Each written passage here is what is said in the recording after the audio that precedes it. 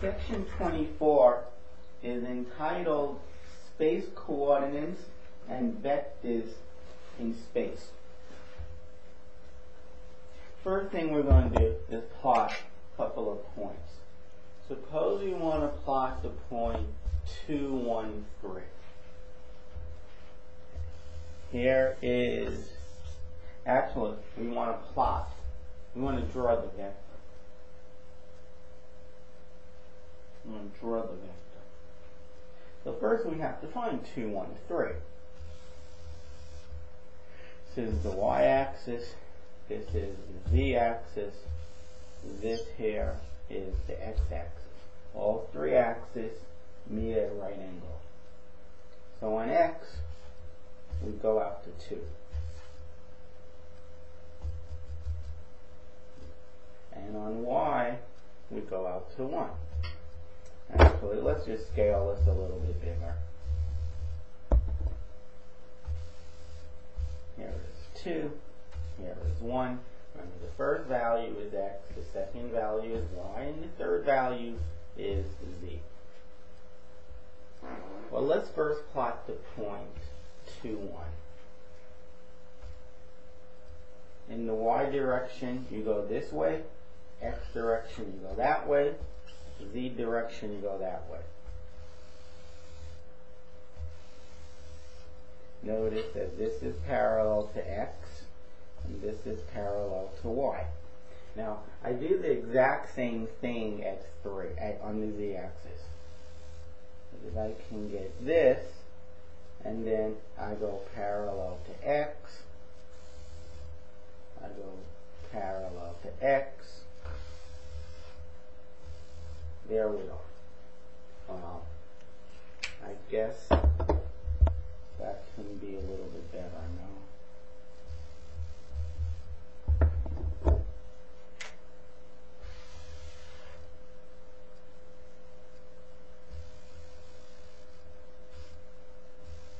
There we go. Now, right here is where x is 2 and y is 1. I, I can see that very clearly. Because when I go to the x-axis, there's 2. When I go to the y-axis, there's 1. Well, from that point, I just go up 3. There it is. That's the point 2, 1, 3. That's the point 2, 1, 3. What you need to learn how to do is just pick three points on the axis.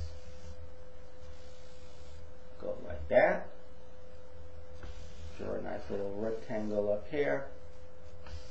And then draw the third rectangle like such. Third wall if you prefer. You need to be able to start doing that. And if this is A, this is B, and that's C, well then there's your point. That's A, B, C. You should be able to figure out what those values are as well. Including these two. You should be able to state what each of the points are. For example, right here,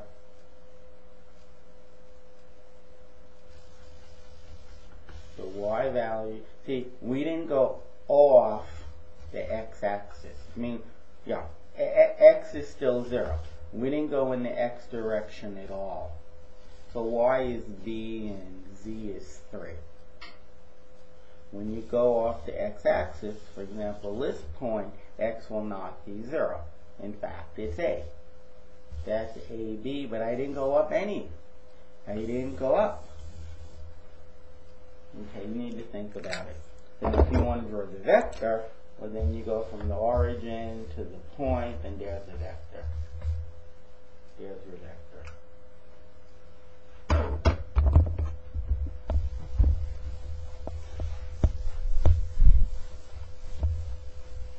You practice for 5, 10, 20 minutes, however long, until you're able to do what I just did.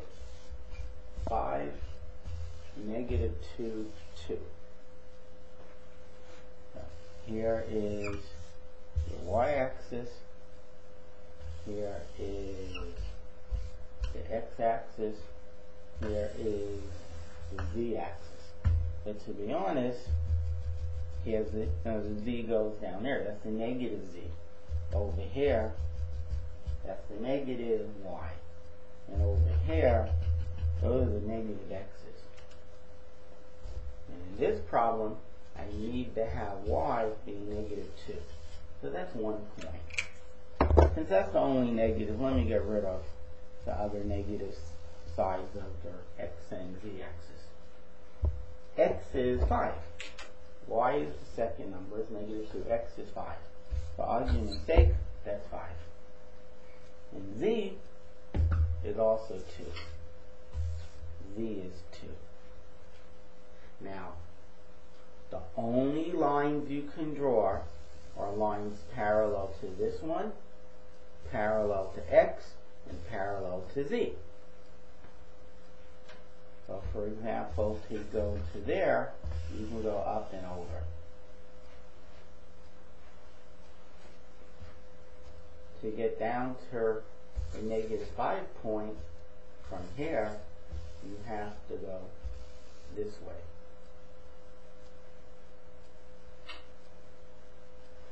though I do have a problem with that. This line that I drew was parallel to the x-axis, but this line was not.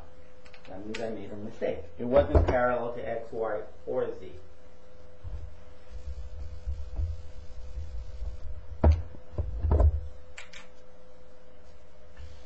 This is parallel to y. That's another point.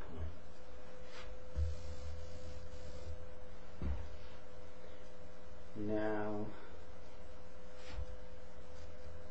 I can come like this, to go up like that. I can come down parallel to x, but then I have to come up. And if I do this perfectly right, when I join these two points, it will be parallel to the y-axis. But it wasn't mainly because this line wasn't really parallel to x. Now it looks more parallel. And there it is. There it is. You need to be able to do this.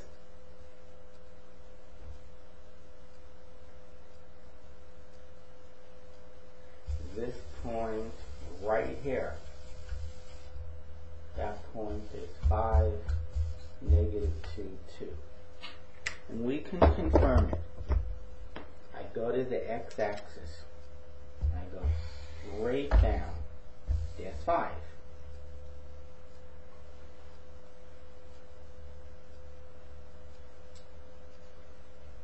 I will agree that the z value is 2. Personally, Okay, what we so so maybe that's wrong. What we really should do is first find, since we're more familiar, let's find five negative two. Let's just find the x y. That's going to be right there. That's going to be right there. Why is that? Because when I look to the y-axis, x-axis, I see 5. And when I look to the y-axis, I see negative 2. And then from this point right here, I go up 3, 2, 2. If this was negative, I would have gone down. That's the point. Sorry. That's the point. 5, negative 2,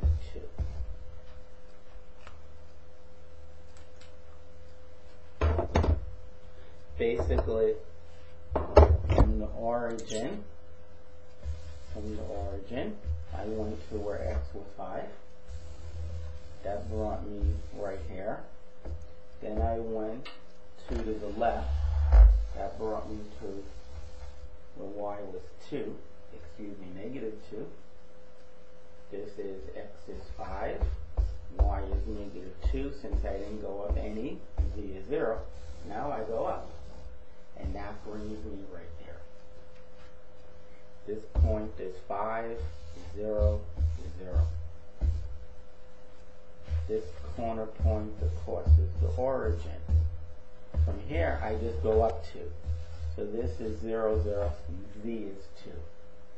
If I now go to the left, the only the 2 won't change, the x won't change, but since I went to the left, remember now, left and right is y. y changed, it went to negative 2. 0, negative 2, 2. And if I now go this way, this way, that's the positive x-axis. And I went 5. That's why, so the negative 2 stayed the same, but x increased by 5. And this point right there. Well, from the origin, I'm just going to the left. So y becomes negative 2, but x and y did not change. X and z did not change. Okay. The dimension higher. Went from two dimensions to three dimensions. And you have to draw it on a two-dimensional piece of paper.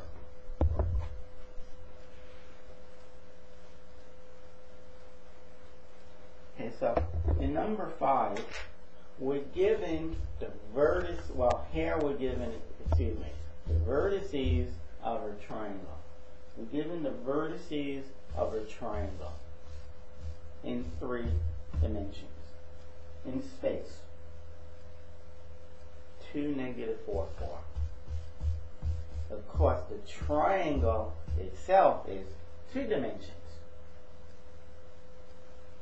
Imagine taking this triangle and cutting it out of the board or out of a piece of paper and rotating it. Come right here and rotate it. Rotate it outside of the paper. Well, it is still the same triangle. It's still two dimensions. But the points are in space. The points are not on the board anymore. This point went in the board this point maybe came out from the board. Maybe this point here stayed on the board, this point here. But nonetheless, they're in space. And the question is, what are, so those that are the vertices, what are the lengths of each side of the triangle? So we can call this point 0, 0, 0, and this one 2, 2, 1, and this one 2, negative 4, 4.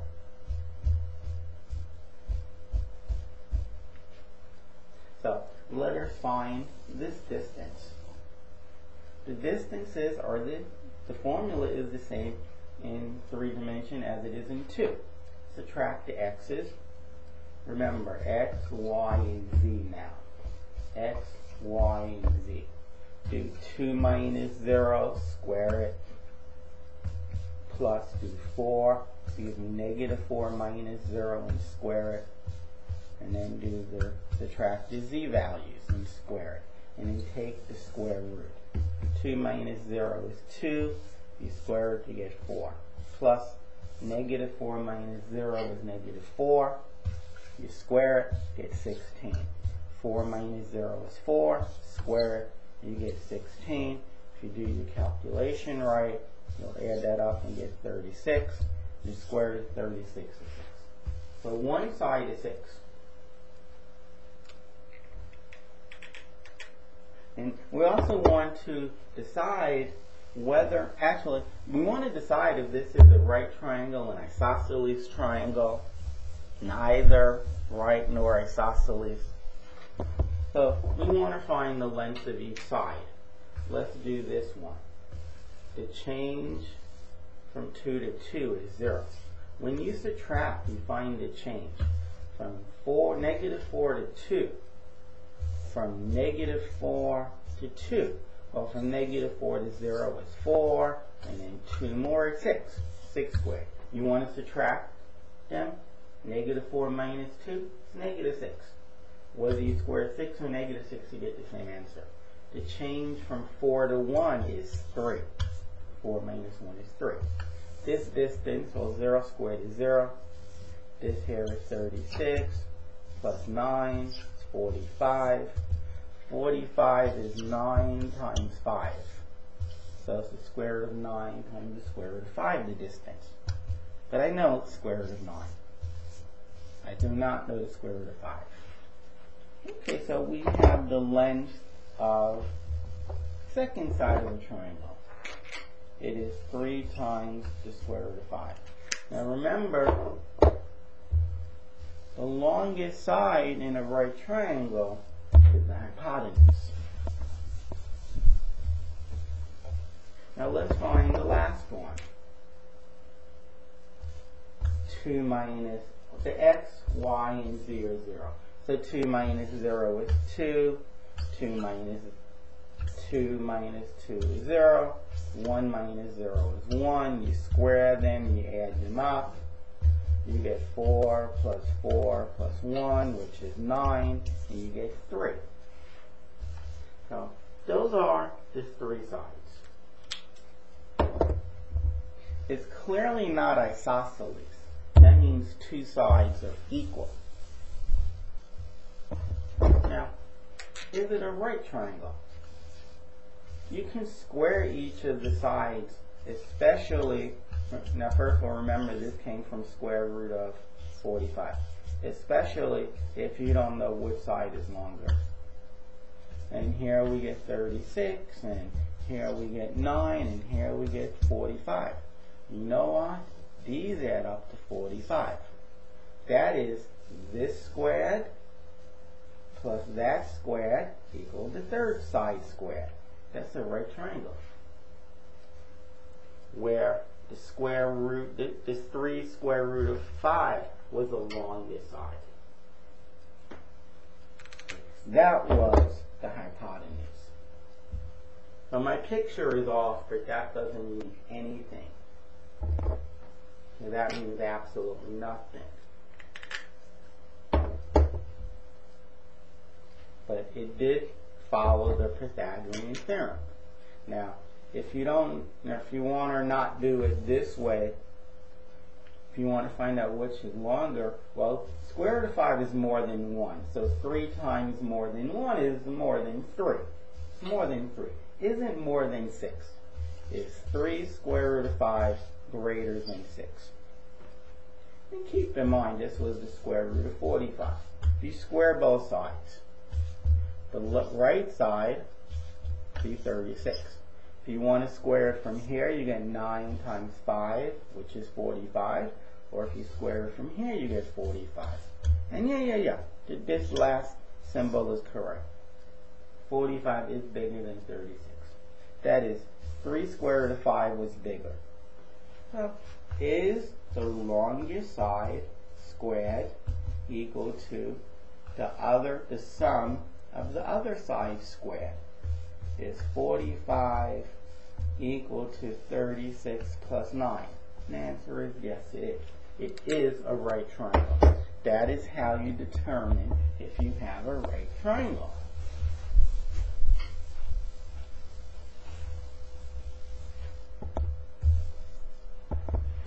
let us try another problem. Suppose the vertices are 1, negative 3, negative 2. Another one is negative 1, 1, and 2. And the third one is 5, negative 1, 2 you need to find the distances between every two pair, any two pairs. You call the points A, B, and C. The distance from A to B, for example, is the square root of the distance between the x values of 2, the distance between the y values of 4, the distance between the x values again is 4. So you get 4 plus 16 plus 16, which happens to be 36, and AB is 6. So we have AB. Excellent. Let's find AC. from negative 1 to 5, that change is 6. From 1 to negative 1, the change is 2. I don't care if it's plus or minus 2, since squaring it anyways. And from 2 to 2, well, there's no change. So we get 36 plus 4 plus nothing. We get the square root of 40. The square root of 40 is 4 times 10. I know the square root of 4. I do not know the square root of 10. So that's AC. Okay. Now we're going to find BC. From 1 to 5. From 1 to 5, the change is 4. Square it. From negative 3 to negative 1, change is 2. Square it. And from negative 2 to 2, the change is 4. And then you say, wait a minute, wait a minute. I just saw that over here. Since addition commutes, the order under the radical can be different, but 2 squared, 4 squared, and 4 squared. 2 squared, 4 squared, and 4 squared. It's being added. I know that answer. It's 6. So I have a isosceles triangle. And remember, AC was the square root of 40. And 36 is square root of 36. That is, the square root of 40 is bigger. The question is, is the square root, so now we have, is it going to be a right triangle like this? 6, 6, square root of 40, which is also known as 2 square root of 10. Is that going to work? Well, 6 squared is 36, plus 6 squared is 36. Does that equal to the square root of 40 squared? Answer, which is 40. The answer is no. 72 equals 40? No. That means the top line is wrong.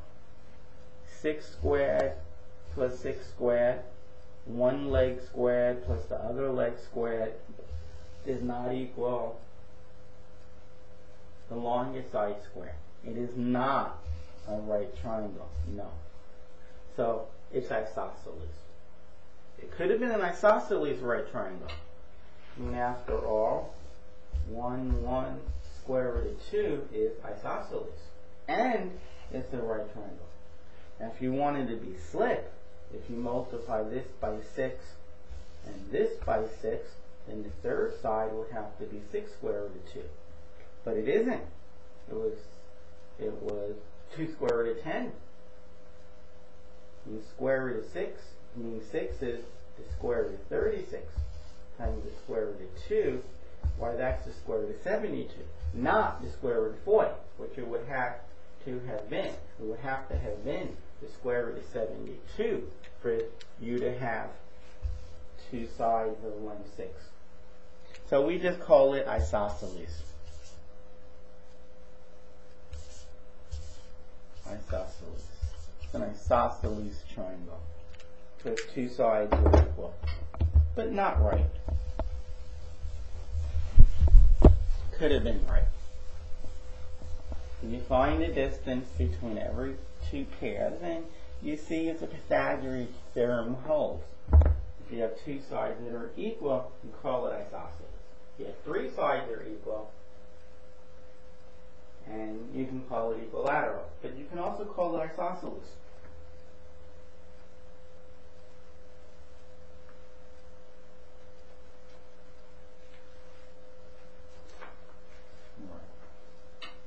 The next problem is straightforward. Find the midpoint between 5, negative 9, 7, and negative 2, 3, 3. When we're in two dimensions, we added up the 2x values divided by 2, added their y values divided by 2. Three dimensions, we do the same thing, except you have to now do it to the z component. You add 5 and negative 2, you get 3, divided by 2. You add these two numbers, you get negative 6 divided by 2. You Add those numbers, get 10 divided by 2. That is the midpoint. of course, we could reduce. 6 over 2 is 3. Now, my fault, I'm going to put a minus sign in front of it, and 10 over 2 is 5. There is your midpoint. Okay, you don't have to do a million of these problems, but you might have to say a million times. If I have two vectors in R3, I have two vectors in space, how do I find the midpoint? The x components, divide by 2, comma. Add the y components, divide by 2, reduce. Comma, add the z components, divide by 2, reduce. Put brackets around it, that's your answer. Okay, very straightforward. If you had these two vectors, or these two points, excuse me, if you had these two points, how would you go and find the midpoint? Add them up, divide by 2. 4 plus 8 is 12. Divide by 2 is 6. 0 plus 8 is 8. Divide by 2. Get 4. When you add the z components, you get 14. Divide by 2. Get 7. That is the midpoint between this point and that point. Okay, just add the two points component-wise and divide each of those values by 2. Number 11 is a nice problem. They tell you the center of a sphere is 0, 2, 5. They tell you that the radius is 2. You want the equation of this sphere. Well, it's just like in two dimensions with circles. It's x minus this value squared plus y minus this value squared plus z minus the z value squared. And this is equal to r squared, which is 4. The only change I would make is that x minus 0 is x. And when you square x, of course you get x squared. Problem is done.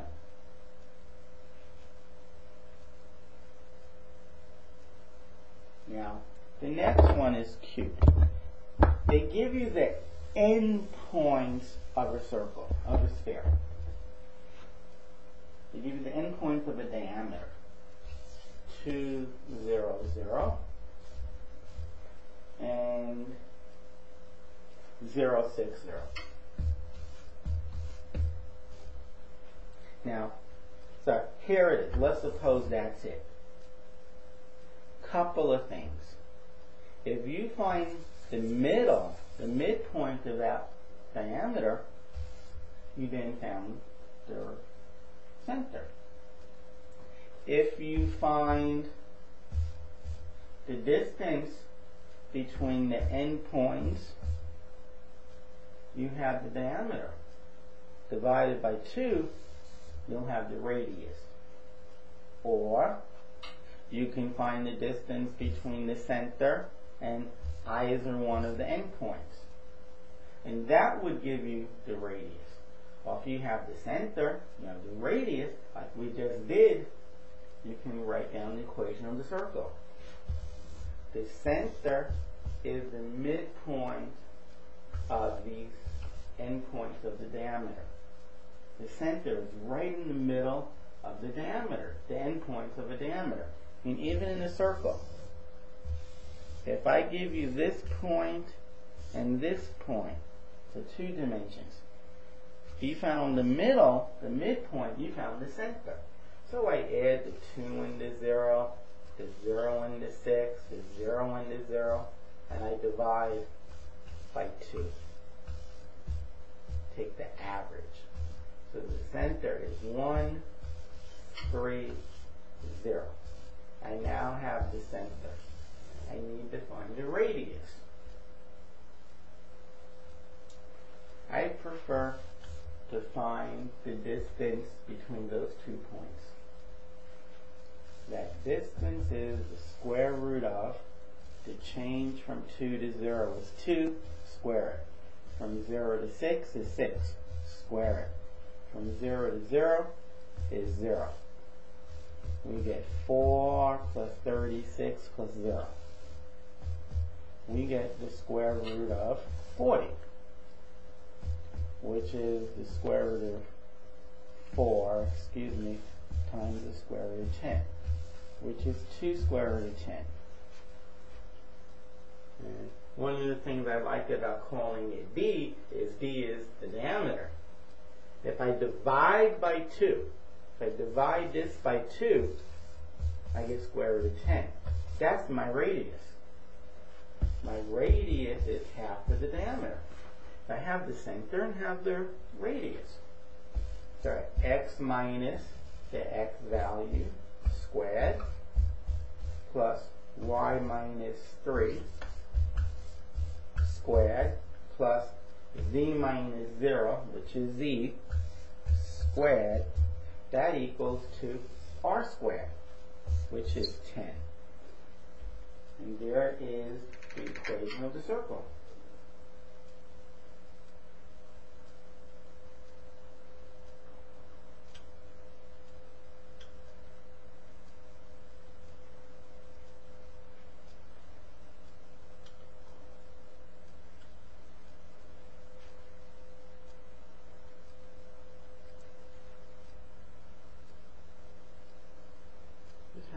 silly problem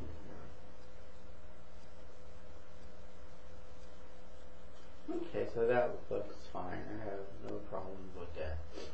Yeah. Okay. And we can somewhat check it. These are endpoints of a diameter. But the endpoints of the diameter are on the sphere. Hmm.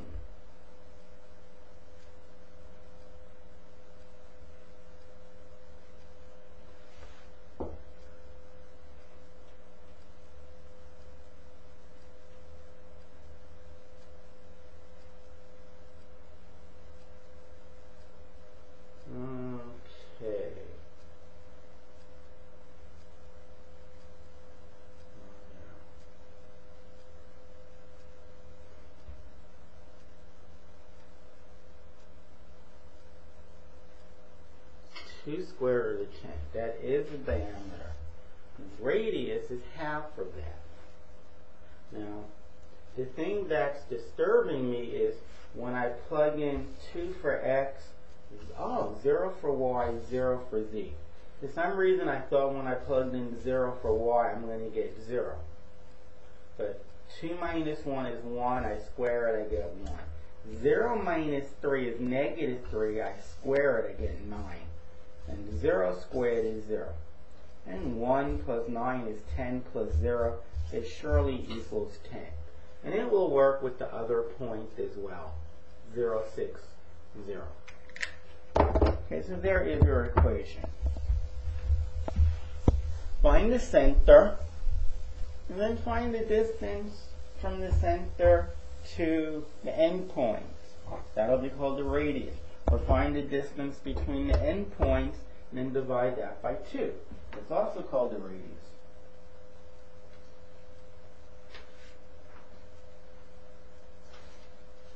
Now, the next problem,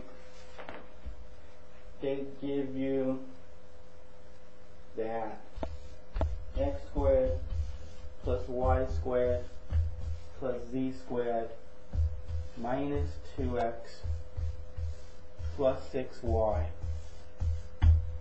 plus 8z plus 1, this is equal to 0. And they say, find the center and the radius of the sphere. So we need to get it in the form like we've just had a moment ago. We need to get, we need to write it down like that. Once we have it like that, we can read off the center and the radius. So first I'm going to combine everything that has x's. Like x squared minus 2x. I'm going to complete the square. I'm going to leave a little space. Then I play the same game for y. Plus y squared plus 6y. Leave a little space. And the same game with z. z squared plus 8z. Z squared plus 8z. And I'm going to bring the constant to the other side. This is negative 1. Complete the square. Take half of negative 2 and then square it. Half of negative 2 is negative 1. When I square it, I get 1. So I add 1 on the left side. I have to add 1 on the right hand side. Make them equal. I take half or 6. Half or 6. Whatever I get, I square it. Get 3. Half or 6 is 3. Square, get 9. So I add 9 here, and I add 9 to the right side. And I take half of 8. Half of 8, and I square it. But half of 8 is 4. And I square it, get 16. So I write plus 16 plus 16. Now each bracket is a perfect square. First bracket is something squared, plus the second bracket is something squared, plus the third bracket is something squared, and negative 1 plus 1 is 0, plus 9 is 9, plus 16 is 25. So it equals 25 what's being squared is x followed by half of that number, which is right there. Half of that number is negative 1 plus half of 6 squared, half of 6, excuse me, half of that number is what goes here. That's right there. Half of 6 is 3. Positive 3. Half of 8 which is right there. That's where it goes next to the z. Positive 4. 4 is positive 4. The center is, what makes this 0? x is 1. What makes this 0? y being negative 3. What makes this 0? Negative 4. This value, 25, that's r squared. If r squared is 25, then of course r is negative 5 or positive 5. But it would be meaningless for the radius of a sphere to be negative. So here's the answer to the question. We found the center and we found the radius. Got to complete the square. Go back to your pre-calc and learn or review how to complete the square take half of the value in front of the linear term.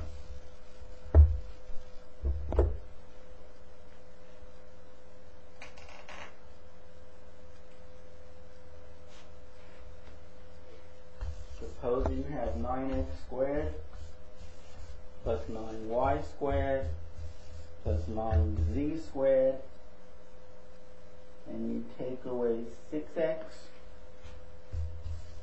and you add 18y, and you add 1, you get 0. Find the center and the radius. Well, first you should combine the x's and the y's and the z's and bring the constant to the other side.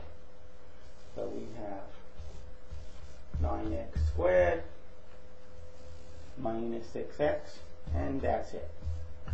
Plus 9y squared plus 18y plus 18y and plus 9z squared plus 9z squared and bring this over as negative 1.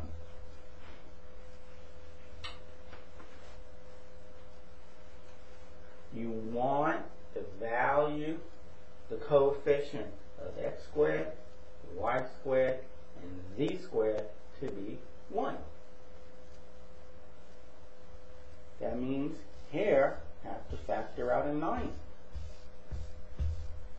Now, since you're factoring out a 9, and 9 doesn't go into 6, well, how about we multiply by 9 and we divide by 9? And then I factor out 9. And what I did in circle, that's what goes in the brackets. The x squared, the minus the 6x over 9. But that can be reduced to 2x over 3 minus 2x over 3. And at some point, add my constant.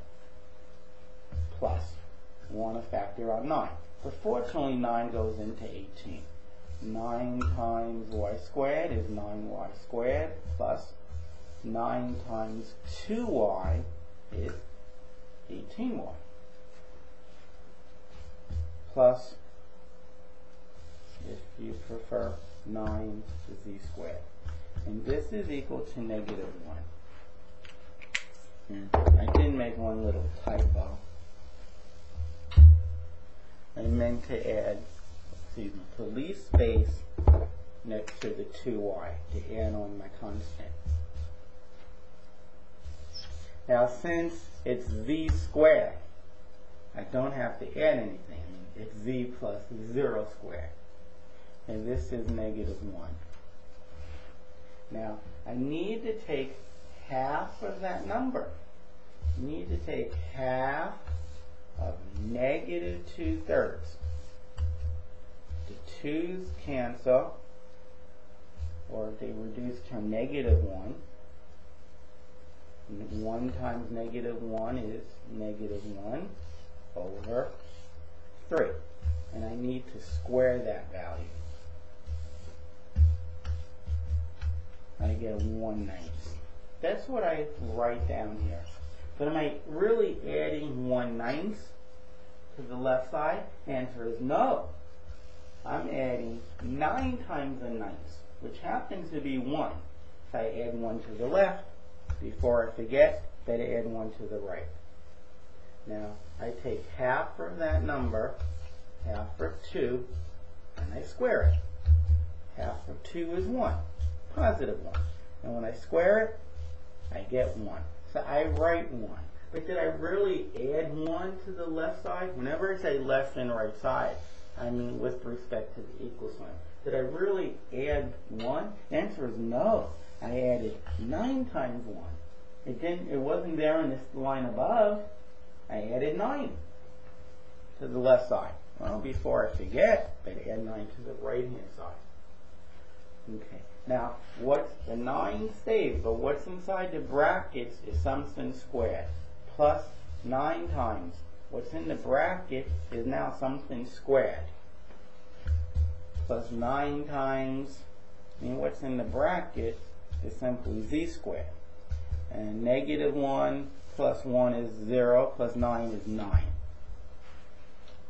What goes in the bracket is x followed by half of negative 2 thirds. Half of negative 2 thirds is right here. It's x minus a third. y followed by half of 2. Half of 2 is right there. It is plus 1.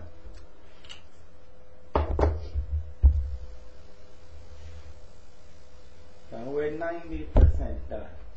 I'm not 100%. Yeah, I guess I would take a point off if you stopped right here.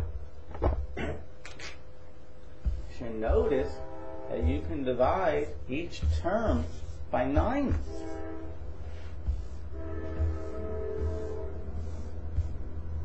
That is the final, the final equation in standard form is this. This is the equation of the sphere in what's called standard form. In standard form, you can read off the center. What's being squared here? What makes it zero?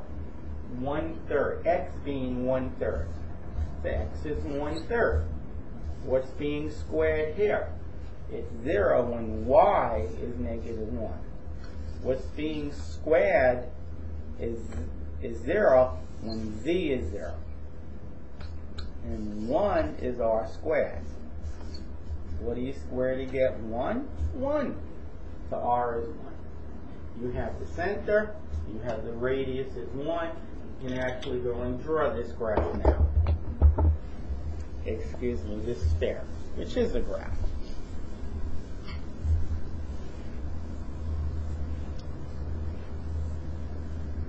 Go and get a basketball, a radius 1, and put the center right where we said it should be, and that would be your sphere.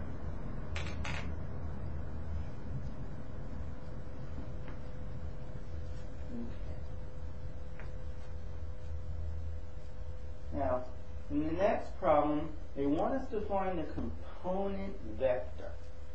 And they give you the vector, and they do a perfect job drawing it with the axes perfect and etc. But this point here is 4, 2, 1. And this, their head is 2, 4, 3. And they want the component vector. That means they want you to move it to the origin.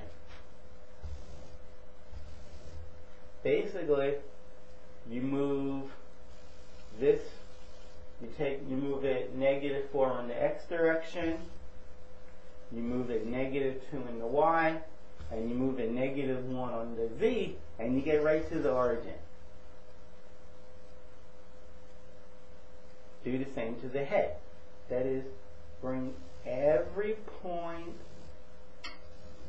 down the same amount. Now since it's starting at the origin, I described the vector in component form by just listing that point. Well, I took away 4 from the x and 2 from the y and 1 from the, from the z. The tail was 4, 2, 1. You take away 4 from the x and 2 from the y and 1 from the z, the tail becomes 0, which is what we want. We didn't need to do that. From the y's, but I'm not saying I didn't mean to write it. I'm just showing you that we are getting the origin. We'll do the same to their head. Take away 4 from x and 2 from y and 1 from z. And what you get is the component vector. It's just like before. Head minus tail gives you component. If we wanted to graph this vector, this component vector, negative 2, 2, well, z, actually, you can actually use more space. You have the z, the y, and the x. Since x is negative, since the x value is negative, let me go out here. So here, for argument's sake, is negative 2 on the x, positive 2 on the y, positive 2 on the z.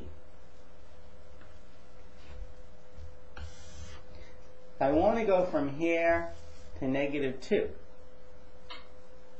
And that's how I do it. The first line was parallel to x, the second line was parallel to y. That gives me the base, rectangular base. Let's let this be more exact. If something could be more exact. Okay, let's draw the YZ plane the YZ wall. This is direction Z. This is direction of X. Maybe it's called the XZ plane. I can go like this. I can surely go like that. We're getting there. Parallel to x, well, it should be right there then.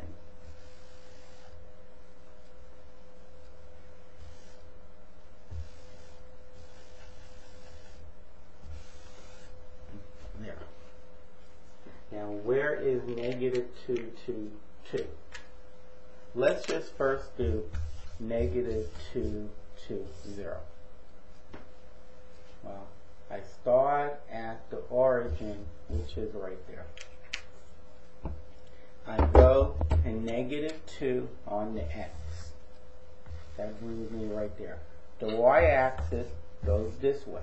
To go 2 on the y, to the right is positive. So that's right there. That's where x is negative 2, y is positive 2, and z I didn't go up any. And now I have to go up 2. Right up. There it is. That's the point we wanted.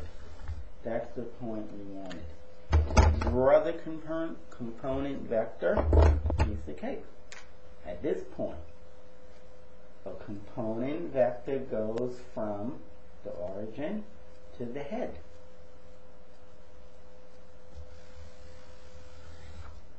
Meant to draw perfectly straight, but there it is. There it is. Not, when your teacher is not going to take out a ruler and make sure that your line was perfectly straight. I mean, you, you start doing things like that, it's going to be marked wrong. It's not straight. It's not even an attempt to being straight. Okay, so we found the component vector and we drew it.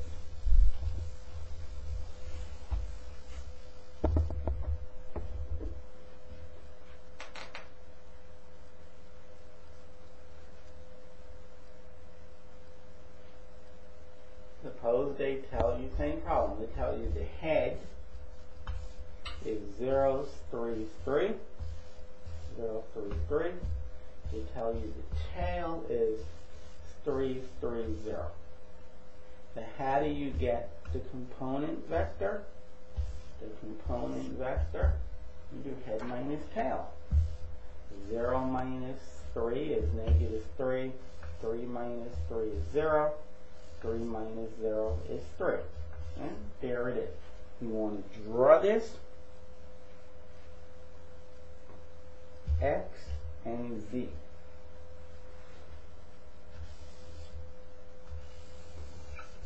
Here is Y. Here is Z. Here is good old X. And once again, we need negatives. Well, right here, is where x is negative 3. y is 0, z is 0. I didn't go in the y direction at all. I didn't go in the z direction, which is up and down at all.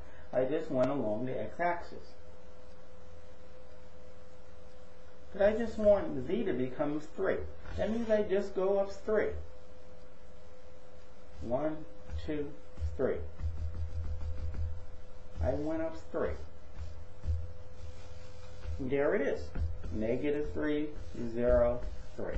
I didn't have to draw the whole graph that I've been drawing.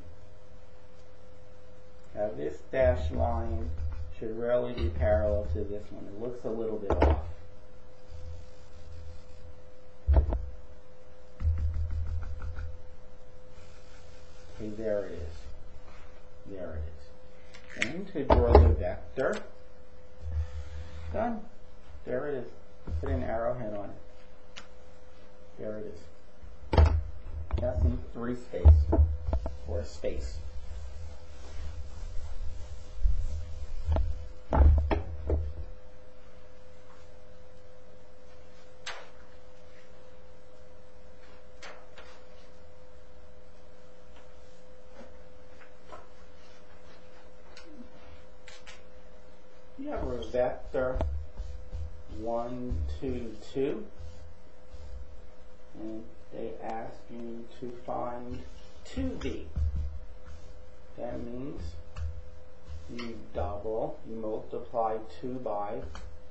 Of those values. And that's done. 0v, you multiply each of these values by 0. And of course, we'll get 0. They ask you negative v, which means negative 1 times v. I multiply each of these values by negative 1. Let's graph them. This one right here is fairly e easy to draw. It is just the origin. It's just the origin. One point. Boom. Got it. Okay, let us first draw a V. Let us draw a V. Y-axis, x-axis, z-axis. Somebody asks you how big that angle is. You don't say, oh, that's more than 90, it's a 2. No, it's 90. It is a 90 degree angle. In drawing 3D, in two-dimensional board, makes it look obtuse, but it's a right angle. These are all right angles.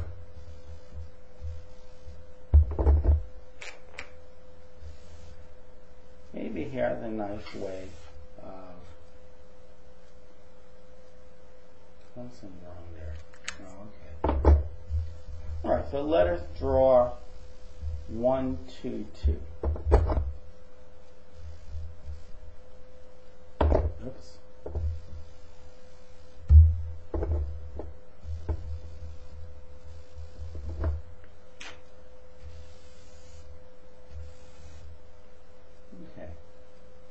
X is 1, Y is 2, Z is 2. So using these three points, you make the walls.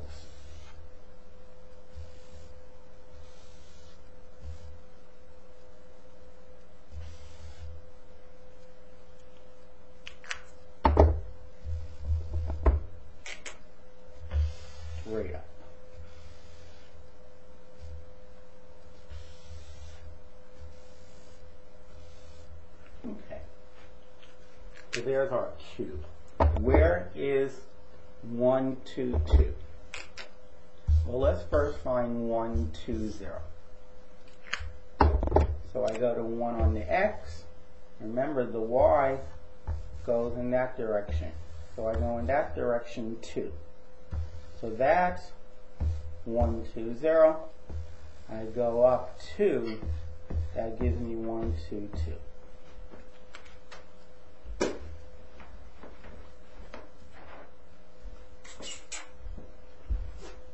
Now, actually, the rest is easy. Here is V. Here is V. I don't put the arrowhead. So I drew V. Now I want 2V. It's twice as long. Okay. I'll kind of think about how long that is, and I'll try my best to go the same distance. There it is. It really should be on a straight line. It really should be on a straight line. There it is. Zero V we talked about. This, excuse me, zero V is right here. It's just the origin. Negative V, that's just V in the opposite direction. Remember, V was just that long. So I go in the opposite direction, approximately the same length. And that's negative V. This vector is negative V. This vector is V. And the long one, 2V. 2V.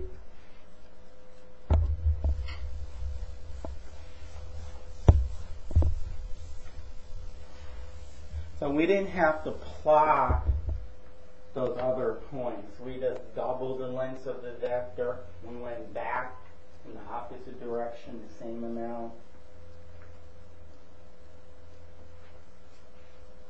Okay, next problem. Suppose they tell you that U is 1, 2, 3, and they tell you that V is 2, 2, 1. And I tell you that W is 4, 0, 4.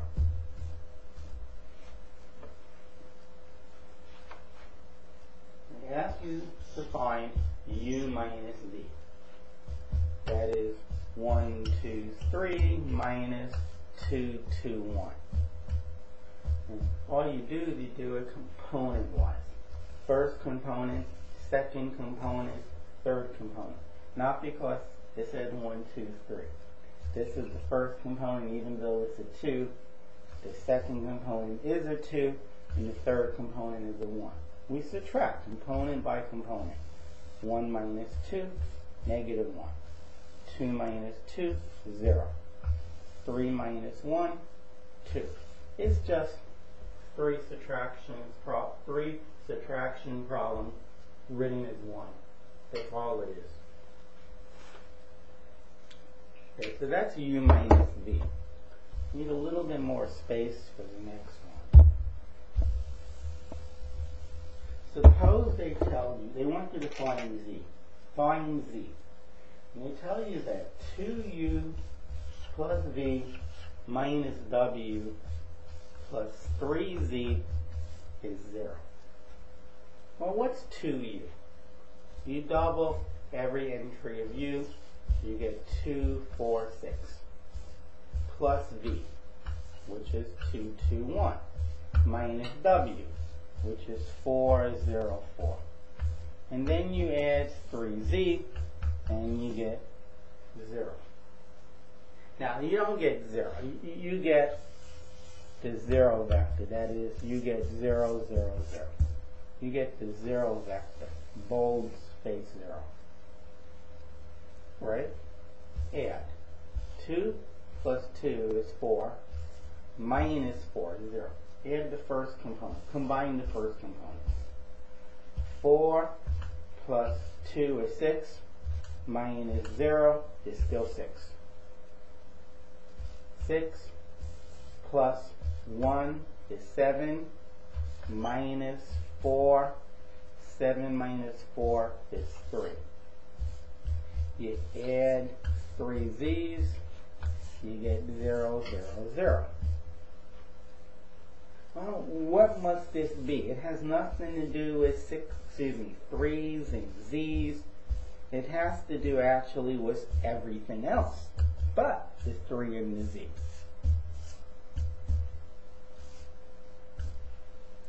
0 plus 0 gives you 0.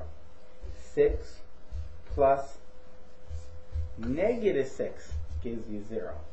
3 plus negative 3 gives you 0. That is, I now know what 3z should be. 3z's should be 0, negative 6, negative 3.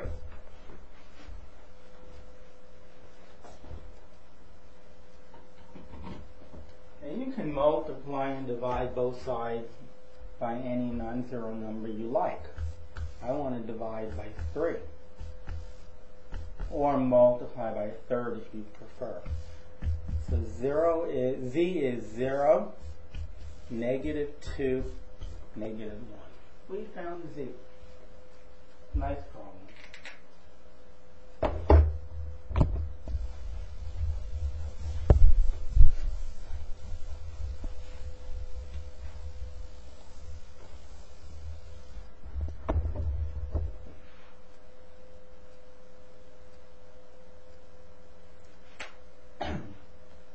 if two vectors in component form are parallel to one another, isn't now this vector and that vector they're parallel. And if we brought them to the origin, let's say the second, the lower one was longer. The first one will look like this, but the second one would just look a little bit longer. It would be parallel. The vector should really have heads on them.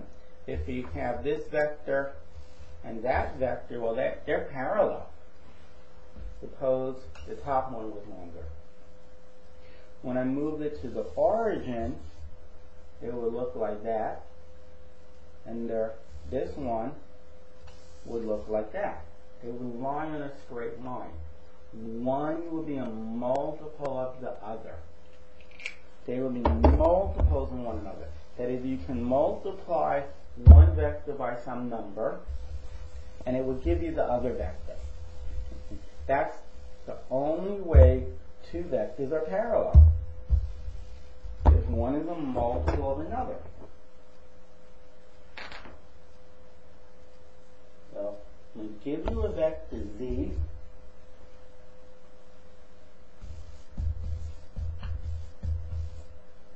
even going to give it to you in component form. the question is, which of the following vectors are parallel to z? Which of these vectors, if any, are parallel to z?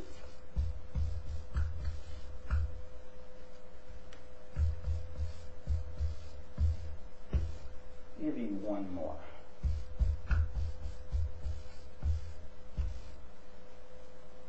Which of these vectors are parallel to z?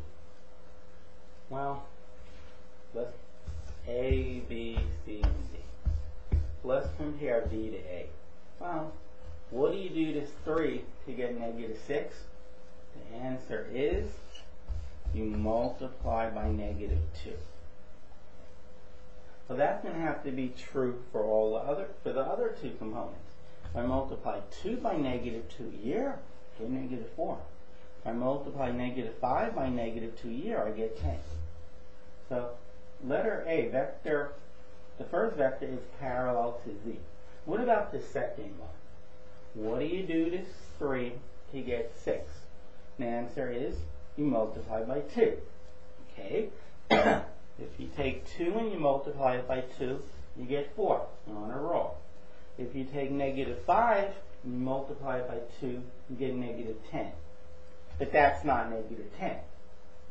So no, it's not parallel. Now, here's the hard one. You have z is, or harder one. You have this for z, and you want to compare it to 2 4 thirds, negative 10 thirds. Well, it's not so obvious what you do to 3 to get to 2. It's not so obvious what you do to 2 to get to 4 thirds. It's not so obvious here. So you ask yourself, let's start with 3. 3 times what? Unusual number gives me 2. Answer is 2 thirds. Okay. Multiply 3 by 2 thirds, get 2. And take the next number, 2, and multiply it by 2 thirds. Oh, 4 thirds. Correct. I take negative 5, I multiply it by 2 thirds. Negative 5 times 2 is 10 over 3. Yep, that worked like a charm. So the third vector is parallel to z. Now let's look at the last vector. 1, 4, 2. Now it's real nice when one of the values, one of the x, y, z values is 1. So long as the original vector doesn't have fractions.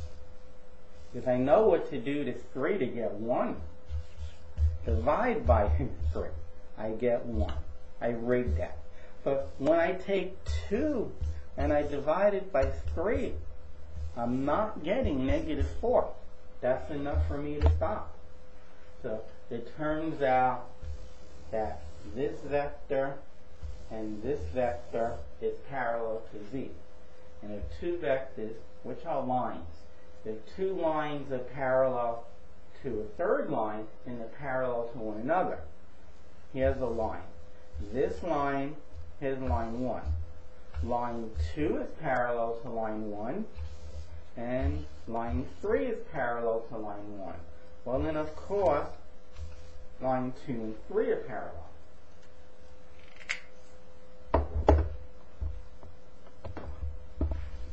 I forget. Either that's called symmetric or reflexive property.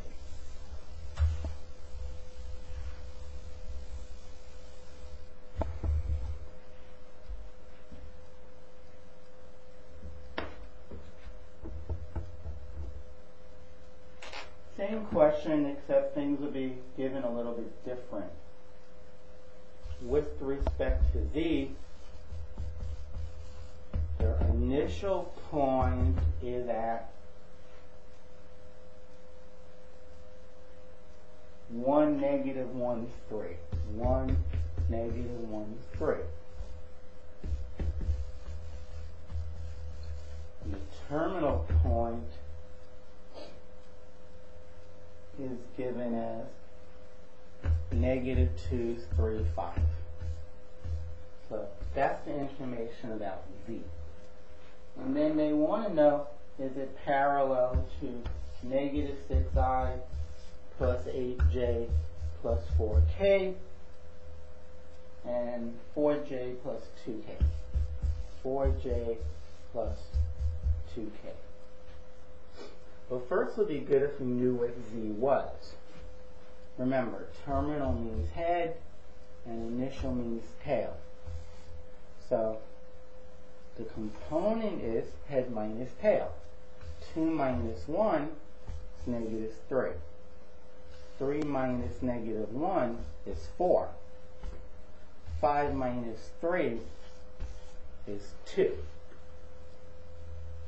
Okay, now this is the same as negative 6, 8, 4. What do you do to say 3 to get to negative 6? Now, I'm not suggesting that's hard for you, but if that one was hard for you, don't worry. Maybe you ask yourself, what do you do to 2 to get to 4? And you say, oh, times by 2. Alright, well, 2 times 2 gives you 4. 4 times 2 does give you 8. And this is the hard one in theory, so you do it on the side, you reduce, you cancel, you do whatever it takes. Negative 6, that works.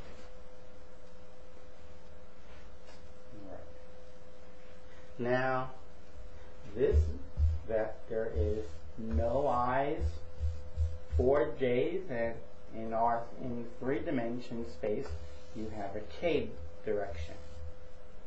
It's not going to work. It's not going to work. Negative 3, 4, 2. I mean, if the z doesn't change, and the x doesn't change, that is we're multiplying by 1. Negative 3 times 1 is not 0. So this one failed, and this one was parallel to v. The first thing you need to do is get everything in component form. Do head minus tail. Convert from ijk to component form.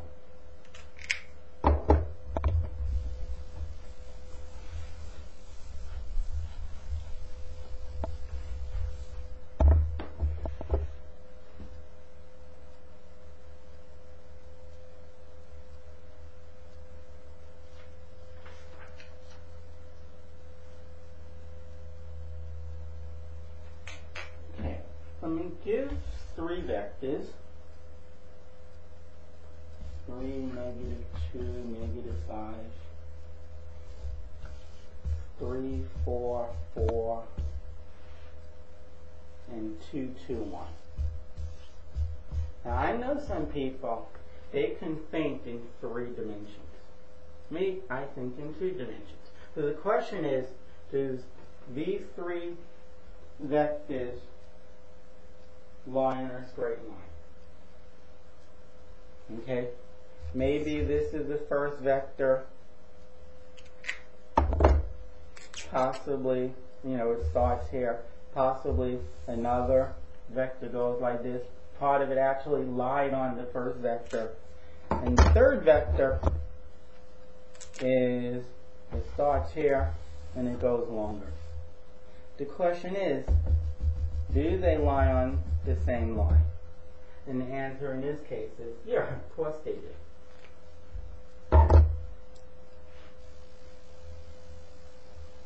Now, if two vectors lie on the same line,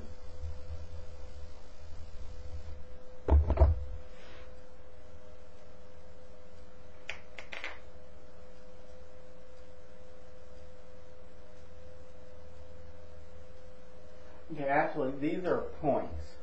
Do, do these three points lie in a straight line? These three that I listed. Well, if, for example, you found that vector from point 1 to point 2, and then either you found the vector between point 2 and 3, or you found the vector between P1 and P3. They would have, if they're parallel, if they all lie in the same line, this vector and this vector, they'd be multiples of one another. P1, P2, and this vector would be a multiple of one another. P2, P3 would be a multiple of P1, P3. Just find two vectors, any two vectors over here, and see if they're parallel to one another. See if one is a multiple of another. Pick any two. I'm going to pick the first and the third. So it starts here and it ends there. It starts at 0, negative 2, negative 5, and it ends at 3, 4, 4. Now you may say, well, wait a minute, how do you know it doesn't go the other way? It's not going to matter because negative vectors par- you know, if this is V and I really should have drawn it in the opposite direction, that's negative V. They're parallel. They're still parallel. So I find that vector. We're calling this the tail and that the head. So V1, V2, I meant to say P2, P, P3, P2, P1, something like that. So we are finding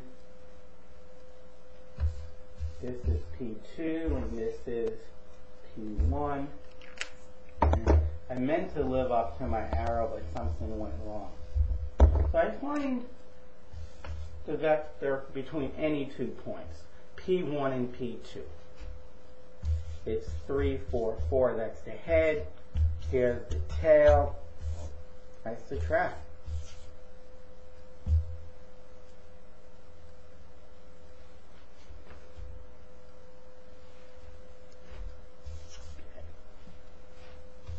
So the vector P1, P2 is 3, 6, 9. Then I pick any other two. Any other two. I can pick P1 and P3. Or I can pick P2 and P3. And the direction doesn't matter. Let me go 2 to 3. If I subtract them, and they are right in front of me, I get 1, 2, 3. So P2, P3. That vector is 1, 2, 3. And the question is, are these multiples of one another? Well, if you have 1, you multiply it by 3 to get 3. So the rule is, if it's going to be parallel, is multiply by 3. 2 times 3 is 6, looking good. 3 times 3 is 9, yes, they're parallel. That is, those three points, P1, P2, P3, they lie on a straight line. They lie on a straight line.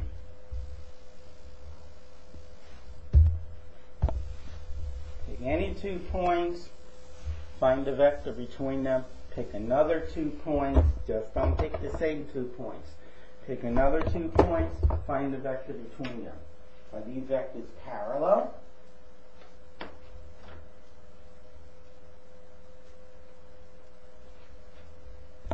One, two, four, two, five, zero, zero, one, five. P one, P two, P three. These two. One, two, four, two, five, zero. Subtract, get that. Okay, let's subtract these two. Two, four, negative five. Are these parallel? Two, four, negative five. Well, I know what to do to negative 1 to get negative 2. I multiply by negative 2. But when I multiply negative 3 by negative 2, I get 6. I don't get 4. The answer is no, they don't lie on the same line. They do not lie on the same line. They do not lie on the same line. They lie on the same, the three points or four points or 50 points lie on the same line, you call them collinear. These were not collinear.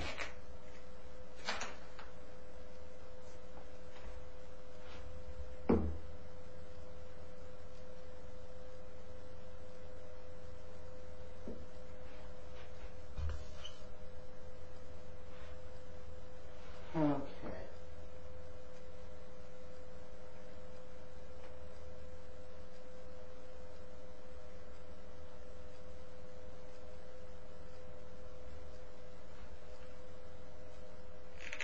So, the next problem, we want to find the terminal point. And what they give us is the component form, and they give us their initial point.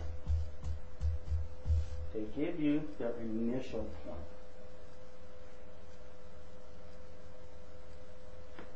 Initial point is a good one would be say 062. Now you need to remember the terminal point minus the initial point will give you the component form, the component vector. Now we don't know the terminal point. Call it x, y, z. But we do know the initial point. They gave it to us, 0, 6, 2. And we do know the vector form, 3, 5, 6. Well, we have three equations. x minus 0 is 3. x minus 0 is 3. You all know that 3 minus 0 is 3. So, x is 3. Some number take away 6 gives you 5. Some number, when you take away 6 gives you 5. You know 11 minus 6 is 5. Y is 11. Some number z, when you take away 2, gives you 6. Gives you 6. You know that 8 minus 2 is 6. 8 minus 2 is 6. So z is 8. And there is your terminal point. 3, 11, 8. And we can check if this is the terminal point and here is the initial point. If we subtract, we should get the component form, which is exactly right, 3,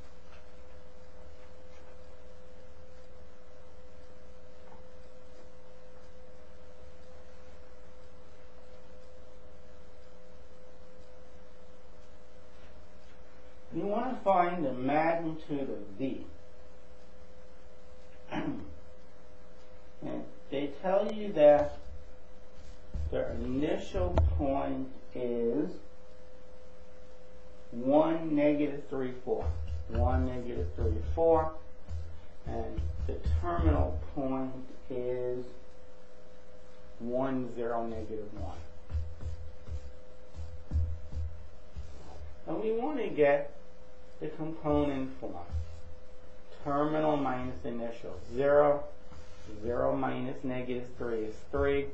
Negative 1 minus 4 is negative 5. That's the vector v. The magnitude of v, well, you square the 0, you square this 3, you square the negative 5, and you add them up. Square root. 0 plus 9 plus 25 happens to be 34. And the square root of 34 a product of primes. It's 17 times 2. It can't be broken down.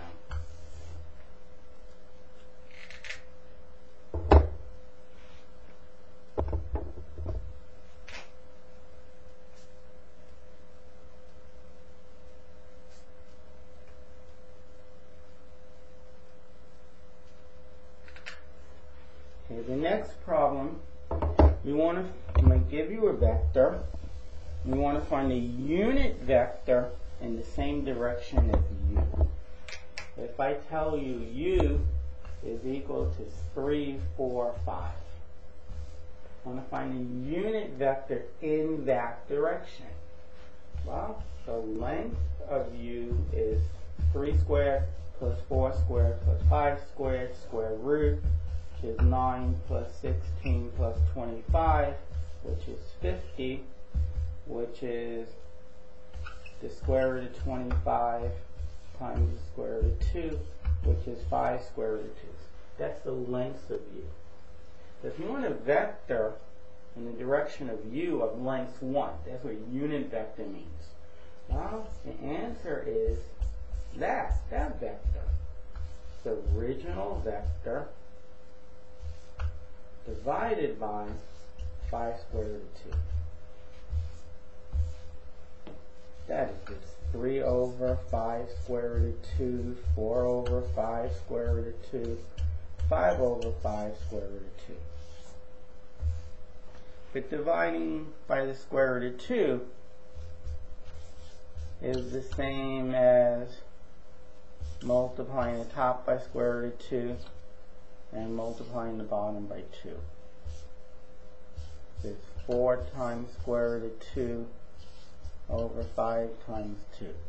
That cancels out to 1. So you just get square root of 2 over 2. A little bit more math. 3 square root of 2 over 10. 2 goes into 4 two times. So you get 2 square root of 2 over 5 square root of 2 over 2. That's a vector, a unit vector in the same direction as u. What if you were asked for a unit vector in the opposite direction of u? Now, if this is u, and it has some length, well, negative u would have the same length and it goes in the opposite direction. Negative u would be 3, negative 3, negative 4, negative 5. Not all negative numbers, but negative of this, negative of that, negative of that. If any one of those three numbers were negative, and negative u, they'd be positive. And then you divide by the length of negative u, which is still 5 square root of 2. 5 square root of 2, 5 square root of 2, 5 square root of 2. The only difference is, is the signs. We're going to get this same answer with negatives. Negative 3 square root of 2 over 10, 2 square root of 2 over 5, square, negative, negative. Negative the square root of 2 over 2. That will be a vector a unit vector, is 1, in the opposite direction of u. Just negate each component. Find your answer, the unit vector in the direction of u, and then change all the signs. That will give you a unit vector opposite, in opposite direction of u. Okay, think about that.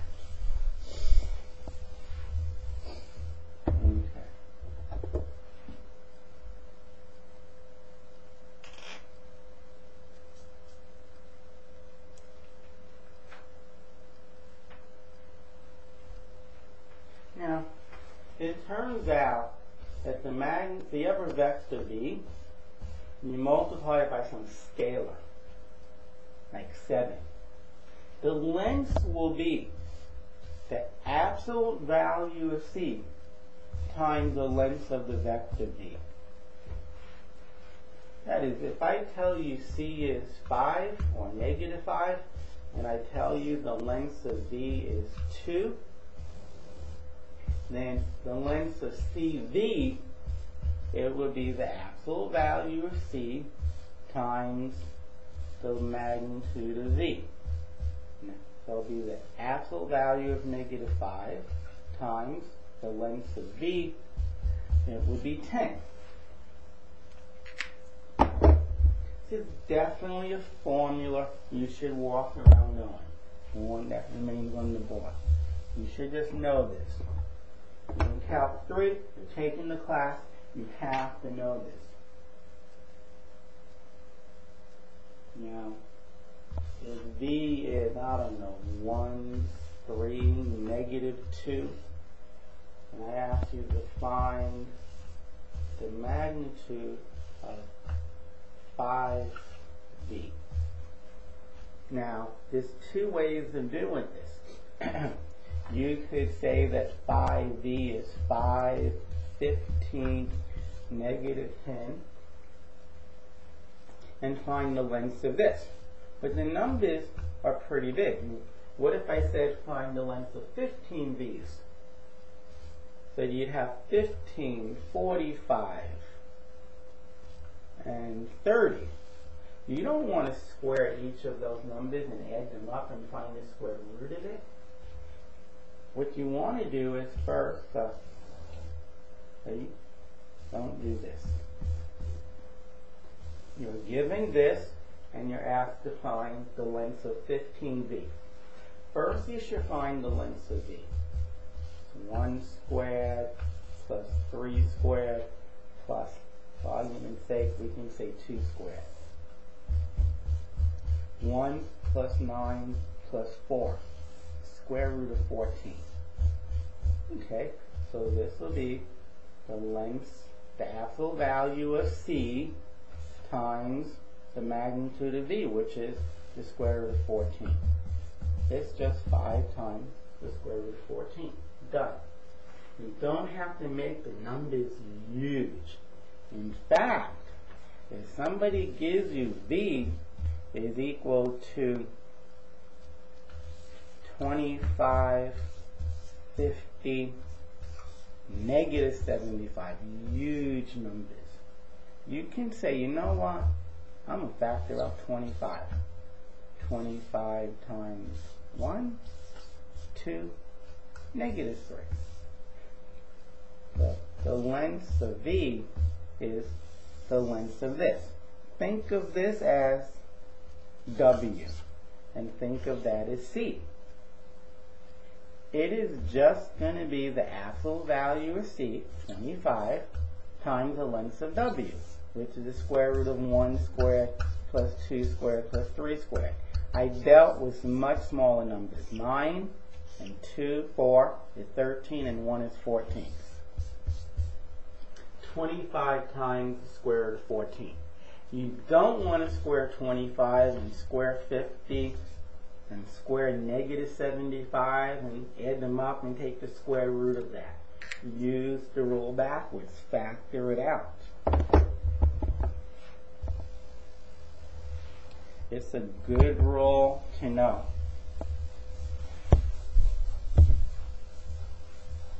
Remember though, you have to take the absolute value.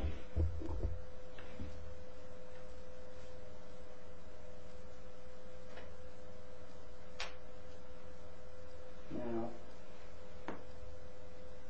suppose I tell you that you, if, I don't know if we did something like this. If I did, I think I made a slight mistake. Find, if I want to know what C is, because the length is 1. Okay. Now remember, the absolute the magnitude of Cu is the absolute value of C times the length of U. And we want this to be 1. Well, what is the length of U? The length of U is 2 squared plus 3 squared plus 1 squared. It's 4 plus 9 plus 1 is always the square root of 14. Okay, so what we have is the absolute value of c times the square root of 14 is 1. Or 4 the square root of c, that's, we have this, I'm just rewriting it. I divide by the square root of 14. Cleaning this up, it's the square root of 14 over 14. So the absolute value of c is the square root of 14 over 14. So c can be plus or minus this number. And after all, if c was negative this number, the absolute value of negative this number is square root of 14 over 14, and the absolute value of positive number is the square root of 14 over 14. So c can be one of those two numbers. c can be one of those two numbers.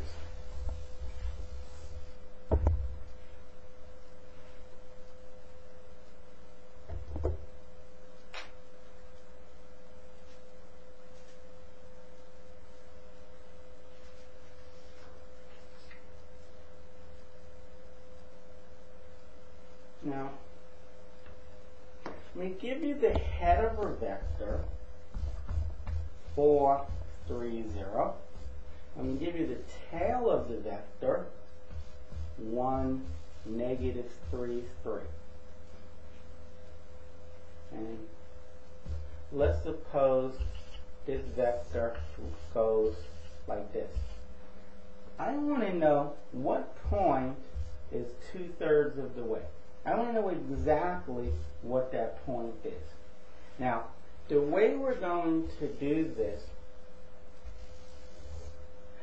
now I know that this is two-thirds of the entire distance. If I put it at the origin, if I put it at the origin, have that vector at the origin, and then I can find out what that point is. So the length is two-thirds. I can find this point. And then I could bring everything back and I'll have the point that I wanted. Not the easiest concept. You have to see this one. So if I do, if I find a vector component by doing head minus tail, 4 minus 1 is 3, this minus that is 6, 0 minus 3 is negative 3. So now, that's this vector. That's this vector. It originally started here and finished here. Head and tail. And now this 3, 6, negative 3 is this vector. It ends right here. Well, I want to know what that point is, two-thirds of the way. I want to know what that point is.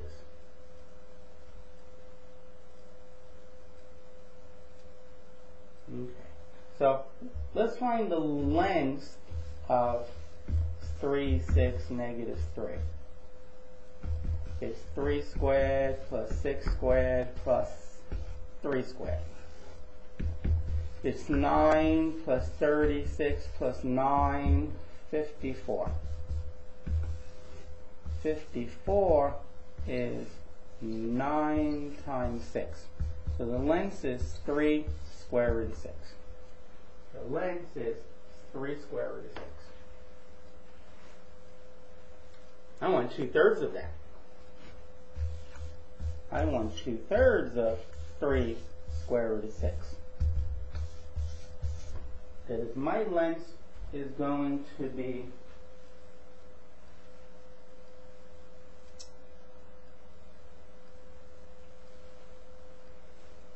I'm read something, excuse me. Okay, so maybe I didn't need to find, yeah, I didn't need to find the length. I just need to take 3, 6, negative 3 and take two-thirds of it. I want two-thirds of it. If I choose half of it, I find the vector that went halfway. I find the vector that went halfway. Find two-thirds. Two-thirds of 3 is 2. Two-thirds of 6, two-thirds of 6 is 4. And two-thirds of negative 3 is negative 2.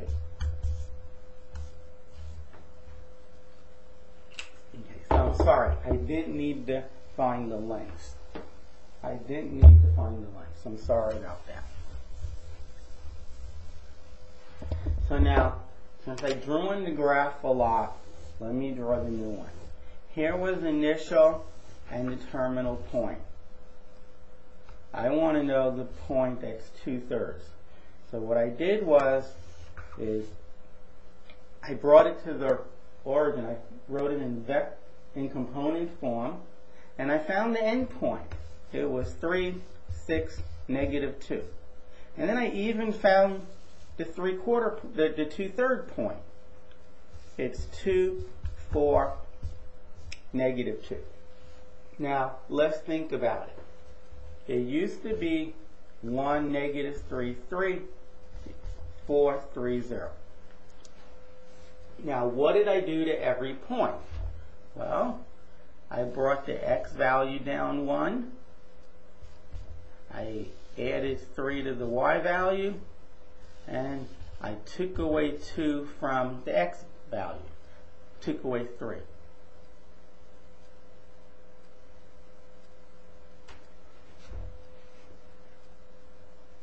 That should be 3, 6, negative 3.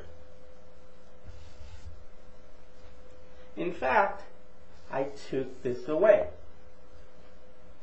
That is, I took away the initial point. And that brought this point here and this point there. I took away 1, negative 3, 3 from every point on that line. Well, to go back, I should add it. I take 2, 4, negative 2, and then I add back the 1, negative 3, 3. I add it back. And in this case, I get 3, 1, 1.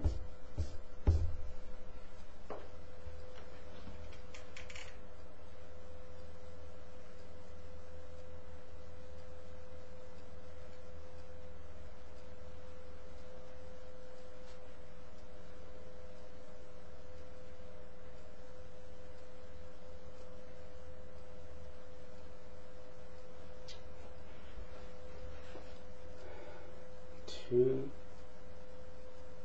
four, yep, three, one, one is the point. That's the two thirds. Okay, I hope you understood the logic behind it.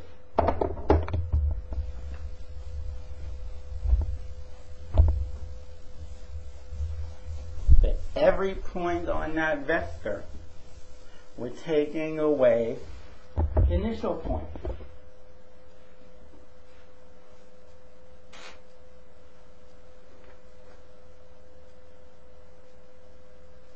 try another one. Suppose point P is 1, 2, 5, and point Q is 6, 8, 2. And you want to find the point that's two thirds from P to Q. Two thirds from P to Q. So again, two, if there were two dimensional, that's P and that's Q. So that's the vector PQ. I want to find the point right there, two-thirds of the way. So what I do is, is I move it back to the origin. And then I find that point. And then I had to do something to P to get to the origin. And I did the same thing to Q to get here. So that is, so now I, I just undo it to go back. I just undo to go back. If I have this point, I undo and I can get, go back and figure out what that is. Okay. So I'm claiming that from P to Q. So Q's the head. 6, 8, 2, and 1, 2, 5, that's the tail. So the vector component, this vector down here is 5, 6, negative 3. Okay. And I want two thirds of that. So I want two thirds of 5, 6, negative 3, which is 10 thirds, 4, negative 2. That's that point right there. But now, what did I do to the points along PQ to get this component vector? Well, it's right here. I took away 1, 2, 5. I mean, from the term, from the initial point, when I take away 1, 2, 5, I get 0, 0, 0. From the terminal, if, if I take away 1, 2, 5, I get the new endpoint, which is right here. 5, 6, negative 3. That is every point I took away, 1 from the x, 2 from the y, and 5 from the z. Well, if I have a point on the vector component, component vector, I add back 1, 2, 5. I add back 1, 2, 5. Remember, 1 is 3 thirds. So I get 13 thirds, 6, 3. That's the point right there. That is the point. Okay, understand this. You cannot memorize these steps. And if you do, what's the point? Get a higher grade and learn anything.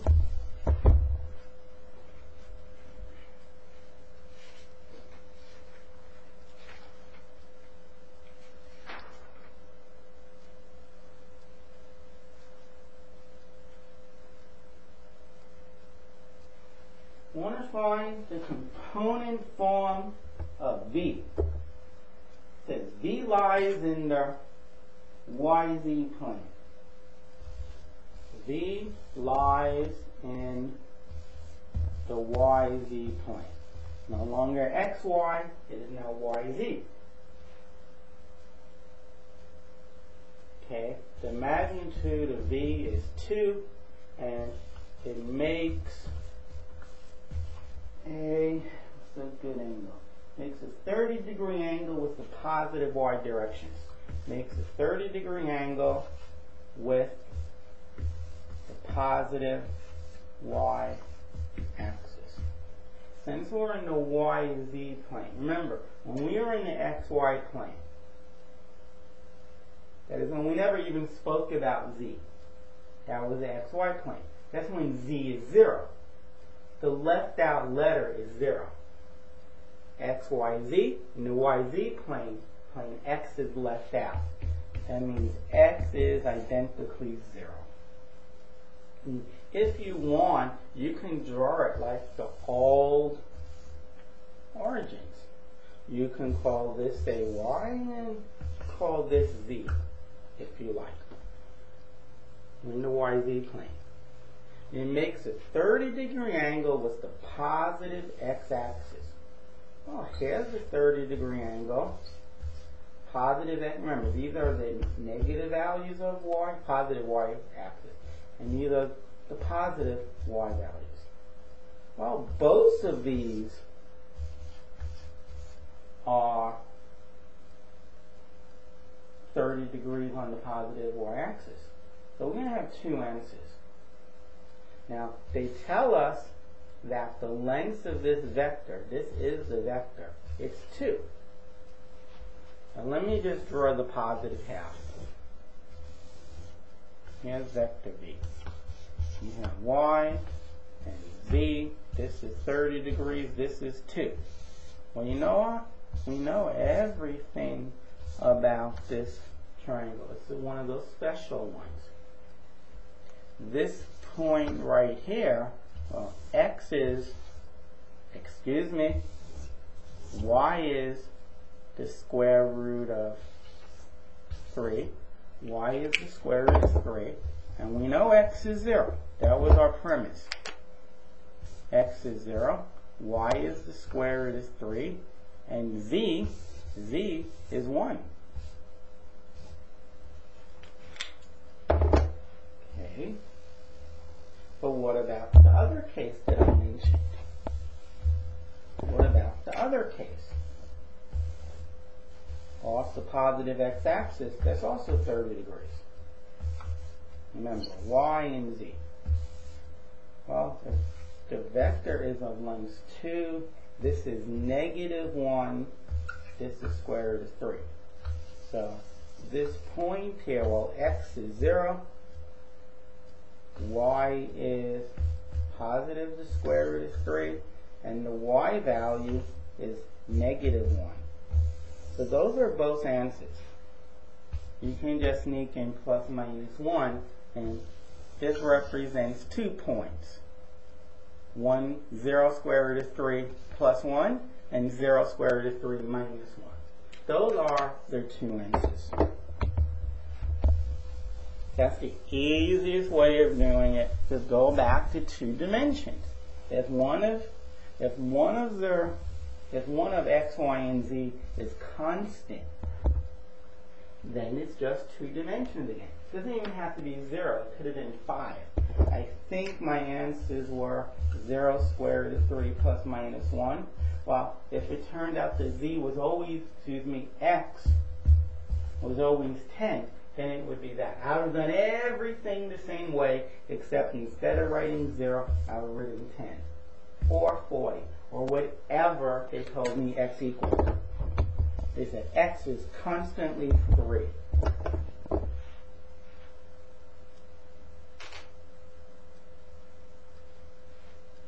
We'll do one more.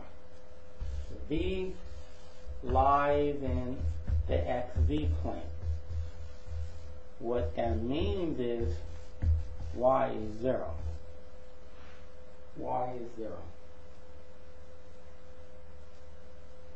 And has the magnitude of 5, the length of v is 5, and it makes a 45 degree angle makes a 45 degree angle off the x-axis. So I name the axes x and z. I could have reversed them. I could have put x instead of where z is and z where x is, but I didn't. Well, again, we get two different answers. This is 45 degrees off the x-axis, and if I went down here, it's also 45 degrees. Now, we know it's 45 degrees, although this doesn't look good, sorry. And let me draw it a little better. 45 degrees. We know that this is usually 1, 1 square root of 2. But I don't want the vector to have lengths of square root of 2. I want it to have lengths of 5. Well, what do you multiply the square root of 2 by to get 5?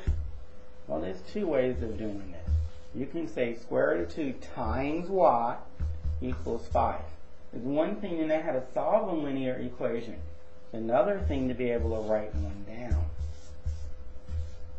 Say x is this, which is 5 square root of 2 over 2. And is, I multiply all sides by that amount. Or, you can be real slick. First, let's get 1. First I want this product to be 1. I have square root of 2. I divide by square root of 2. Now I have 1. Now 1 I multiply by 5. You better believe I'll get 5. So I get 5 over square root of 2, just what I got before. Clean it up. See, each side gets multiplied by 5 square root of 2. 5 square root of 2. 5 square root of 2 over 2. And again, when I multiply the third side by 5 square root of 2 over 2, well, square root of 2 times 2 is 2. It kills off the 2 on the bottom. And yes, I'm getting 5. My length is now 5. Okay.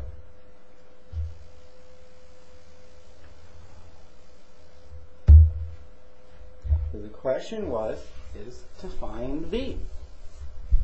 To find v. To find this point. Remember, the second value is 0. The x value, this one. Now, if we're down here, this piece is still 5 square root of 2 over 2 for both of these points. This point and this point. For the, for the top one, the z value, remember, z is this number. 5 square root of 2 over 2. And when we go down, it'll be negative 5 square root of 2 over 2. So once again, we get plus 5 square root of 2 over 2, comma, 0, comma, plus minus 5 square root of 2 over 2. That's your answer. It represents two points one point being with the positive and the other one with the negative. Those are your two answers. Shorthand notation, you can write it as one point.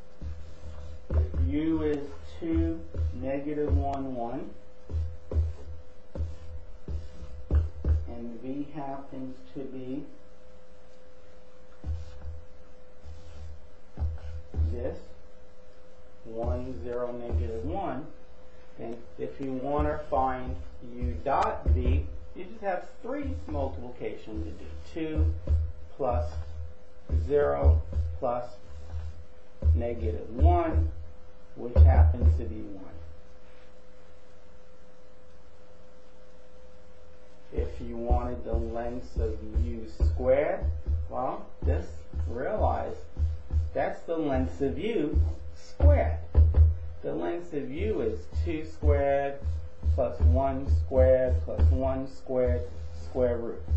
And then when you square it, the 2, the square, and the square root kind of cancel one another out. You just get this. You get 4 plus 1 plus 1 sounds to me like 6. So no magic there.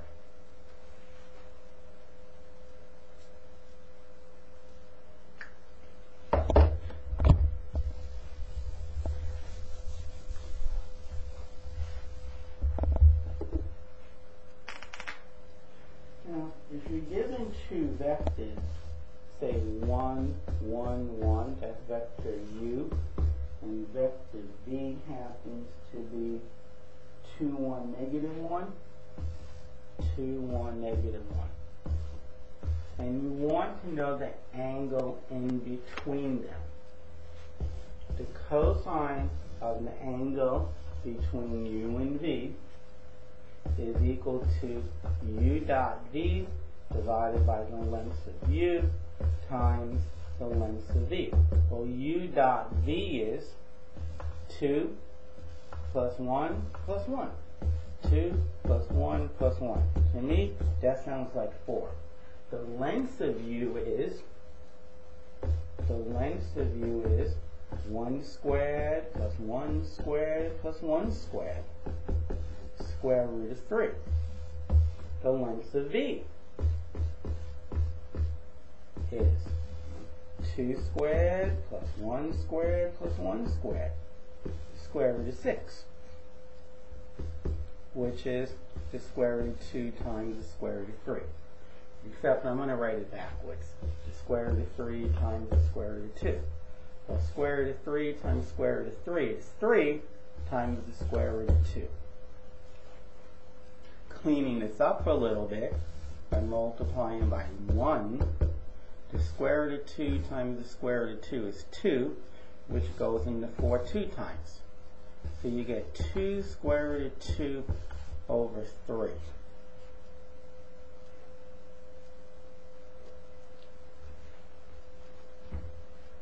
So the cosine of the angle 2. Now, I'm real concerned about whether or not this is bigger than 1. I like to get everything under a square root sign. Like 4, I meant to say 2 is the square root of 4. And the square root of 2, of course, is the square root of 2.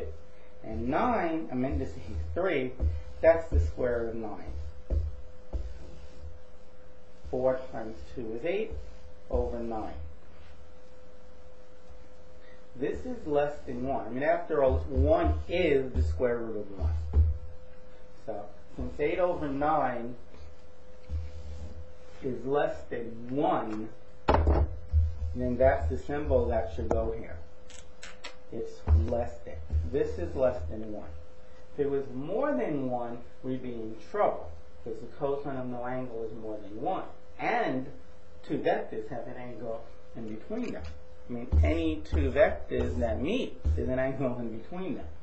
That means that that means you, you did something wrong. the cosine of the angle is 2 square root of 2 over 3.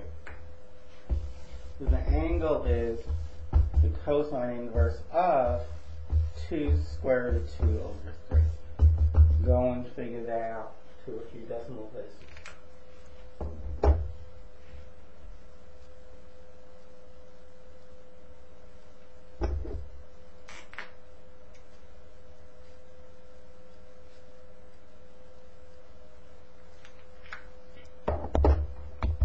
Just like a few sections ago, the next thing we should talk about is when things, when vectors are parallel,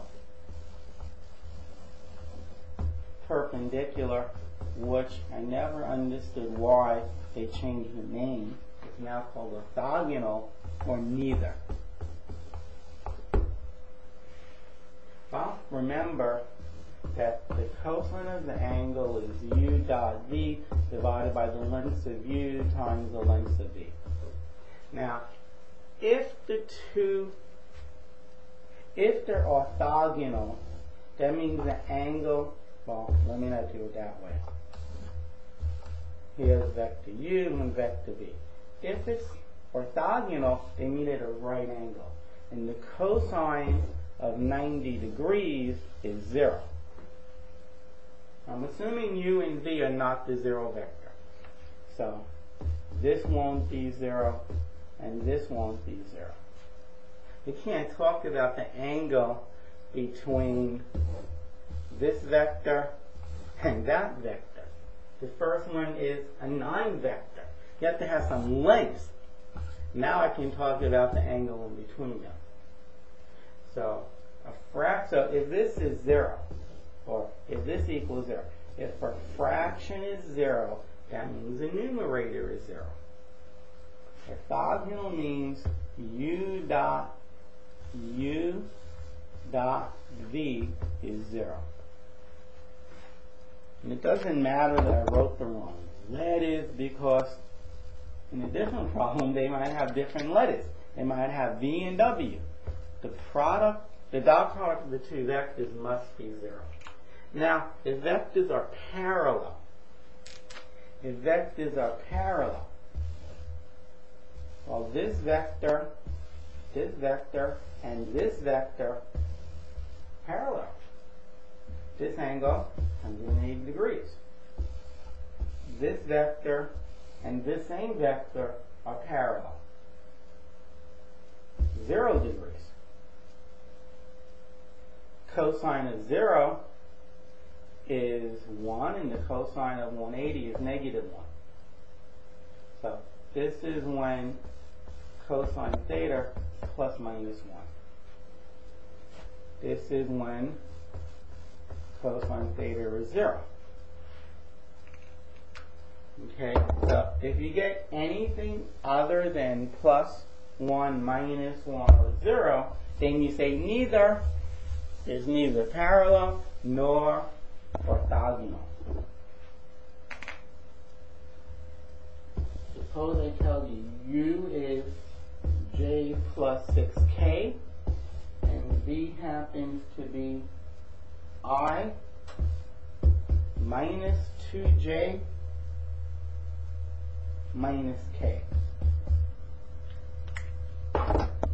Remember that j plus 6k really means 0i plus 1j, 1i minus 1k. So the cosine of the angle is u dot v. 0 times 1 is 0. 1 times negative 2 is negative 2. 6 times negative 1 is negative 6. Unfortunately, that's not 0. That's not 0. Now we have to divide by the length. The length of u is 0 squared plus 1 squared plus 6 squared. 1 plus 36 is 37. It's the square root of 37. And the length of, not u, but the length of v is 1 squared plus 2 squared plus 1 squared. 4 plus 1 plus 1 is 6. It is the square root of 6.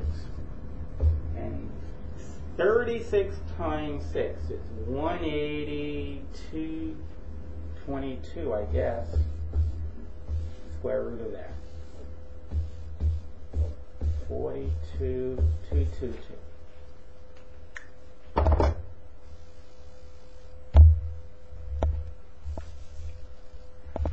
So the angle will be, so the cosine of the angle is negative 8 and let's just do it this way. 2 goes in here, 4 times 2 goes in here, 1, 1. 1 times, so the cosine of the angle is that number. So the angle would be the cosine inverse of 4 square root of 2, 2, 2 over 1, 1, 1.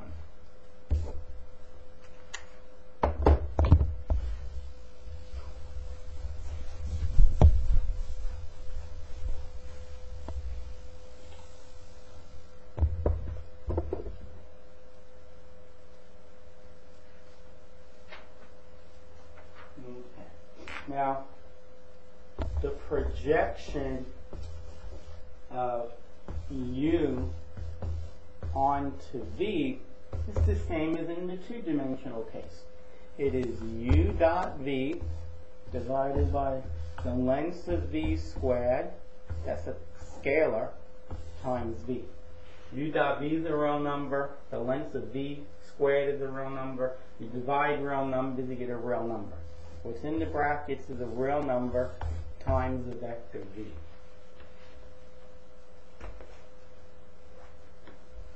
suppose they tell you that u is 2, 1, 2 and v is 0, 3, 4 and they ask you to find the projection of u onto v. Well, first you have to find u dot v. Multiply, multiply, multiply, add up. That's u dot v. 13. Okay, 13. The length of v. The length of v squared. That is no square root. It's 0 squared plus 3 squared plus 4 squared. I won't write the 0 squared. You should know your Pythagorean triples. 3 squared plus 4 squared equals 5 squared, which is 25. 9 plus 16, 25 times v. v is 0, 3, 4. So you get 13 times 0 over 25 is 0. 13 times 3 over 25. 13 times 4 over 25. That's the projection of u onto v. Okay, we can do one more problem.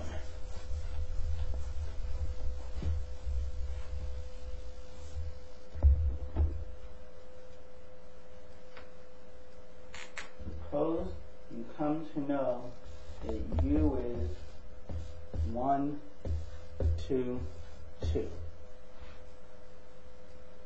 They want us to find the direction cosines of U and demonstrate that the sum of the squares of the direction cosines is 1. Well, you need to know the lengths of U. It's 1 squared plus 2 squared plus 2 squared square root. These are 4. 4 plus 4 is 8, plus 1 is 9. Square root of 9 is 3.